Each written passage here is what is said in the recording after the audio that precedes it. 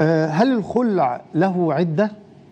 وهل يجوز رجوع المرأة إلى الزوج بعد الخلع مرة أخرى مثل الطلاق؟ وهل يتطلب موافقة الزوج على الخلع حتى يكون صحيحا؟ ده واضح إن أخ عنده بحث عن الخلع فمحتاجنا نساعده فيه يعني يعني يرجع لمثل هذه التفاصيل لكن طبعا اجمالا يعني أيوه الخلع له عدة طبعا له عدة آه. اختلف هل هو يعني آه يعني آه قر ولا اتنين ولا ثلاثة زي الطلاق وفي خلاف هل هو حيضه أم اتنين أم ثلاثة يعني. نعم. على خلاف بين الفقهاء في التفصيل يعني. لأن بي- الخلاف ناتج عن إنه هل ده فرقة فراق ولا طلاق؟